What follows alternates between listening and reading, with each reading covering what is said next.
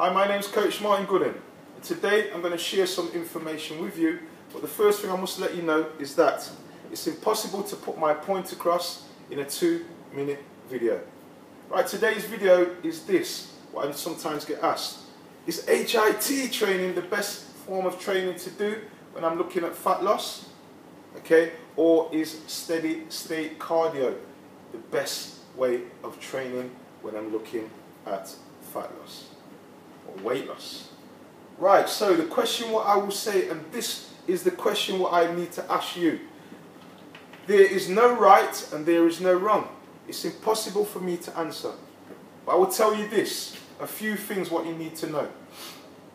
If you're very deconditioned and not accustomed to getting your heart rate very high in a quick period of time, and then while you're recovering your heart rate comes down, okay, if you're very out of condition and you're not used to training this way, your heart rate's going to be elevated and it's going to take a long time to come back down. So bearing in mind, if you're working at periods, say for one minute, really high intensity, okay, and then say one minute recovery or two minutes recovery, the chances are, if you're out of condition, you're very out of condition, you're going to struggle when it comes for your heart rate to come down. Remember the heart is a muscle. The stronger and the more used it is, okay, the more it will take to come down and recover in between rest periods. Okay? So, the question I would ask you, if you're out of condition, and I was training you and I asked you to do an interval very hard, get your heart rate really high, probably up to 85, 90% of the maximum heart rate, then I ask you to dip down in a one minute or two minute recovery, the chances are, probably after one interval, two interval, three intervals, okay, you're going to be busting your gut. You're going to be blowing your exhaust. Won't be able to do no more. Okay? Won't be able to do no more. Now then, if I've got a person who's very conditioned, very fit, okay, very conditioned in the sense of trains very regular, got a strong heart muscle, the chances are when I ask them to do this or her to do an interval, their heart rate, when I ask them to recover in one minute, they will come down very quickly. If I ask them again to go back up, okay, for one minute, again ask them to come back down, again for one minute, ask them to go back up again, they will be able to sustain and maintain and do this consistently, okay? Which means I can ask them to do 12 minutes of interval training. I can ask them to do six minutes of high intensity in interval training. Okay, I can ask them to do 20 minutes of it.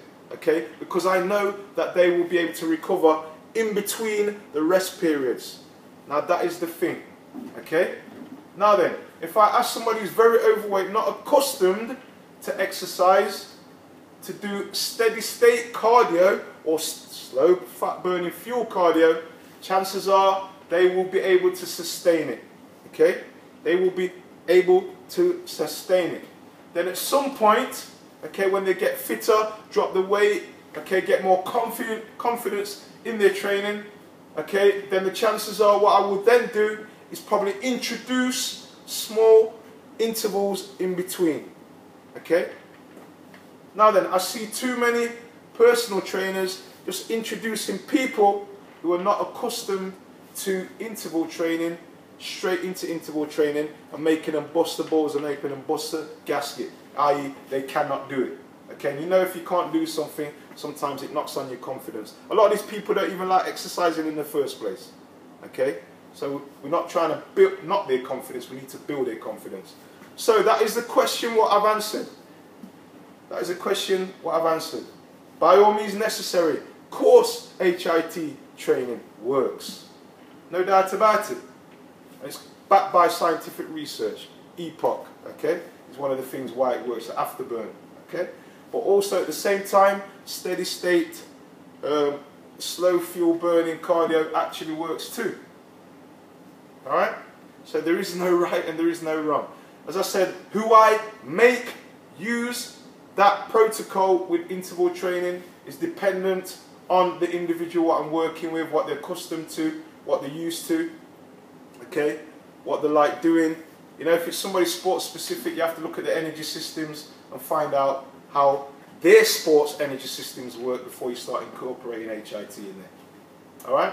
Would I get somebody who's a cross-country runner doing interval training a hell of a lot? No, because we know it's probably the last three um, 200 or 100 meters that a, a marathon sprinter, bang, will start hitting it and going through his threshold. All right? So again, thanks for watching this video. And remember guys, I do online coaching, okay? For those who don't live in Nottingham anymore, not my one-to-one -one clients, and want a way how you can get fit, get lean, okay, get healthy, and have fun at the same time, and have the support of me to help you get the result what you want. But remember guys, I only do the coaching if you're willing to be coached for three months. Okay? instead of flashing the pan. I look at getting your lifestyle right, helping you with mindset, supporting you, helping you with your nutrition, and also making sure that you're exercising um, according to how you can exercise, when you can exercise, whether that be from home or actually in a gym also. Alright? So thank you for watching this video. I will speak to you soon.